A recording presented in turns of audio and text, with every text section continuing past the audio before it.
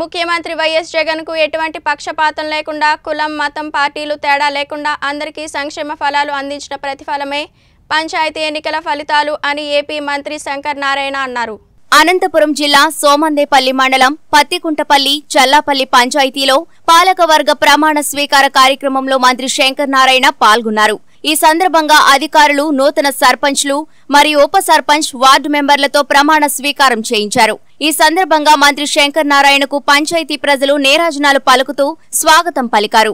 అనంతరం మంత్రి శంకర్ నారాయణ మాట్లాడుతూ మహానేత ఆశయ సాధనకు ప్రజల్లోకి వచ్చి ప్రజా ఆమోదంతో ముఖ్యమంత్రి అయి జనరంజక పాలన అందిస్తున్న ముఖ్యమంత్రి వైఎస్ జగన్ అని అన్నారు చెల్లపల్లి పంచాయతీ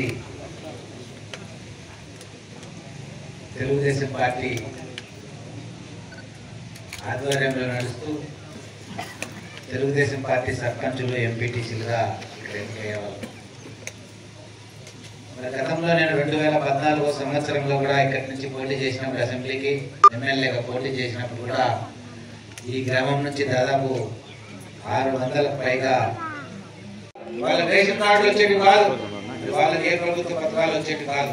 కేవలం జన్మభూమి కమిటీలు పెట్టుకొని జన్మభూమి కమిటీల ద్వారా మాత్రమే వాళ్ళందరూ కూడా మరి ఆ రోజుల్లో మరి తెలుగుదేశం పార్టీ నాయకులకు తెలుగుదేశం పార్టీ కార్యకర్తలకే ప్రభుత్వ పథకాలన్నీ కూడా ఇవ్వడం జరిగిందనే విషయాన్ని కూడా ఈ సందర్భంగా మీకు అందరికీ చేస్తా స్థానిక సర్పంచ్ అయినటువంటి సౌజన్య గారికి దాము గారికి మరి మిగిలిన నాయకులందరూ వైఎస్ఆర్ కాంగ్రెస్ పార్టీ నాయకులందరికీ కూడా మేము చేదోడు బాధలుగా ఉంటాం.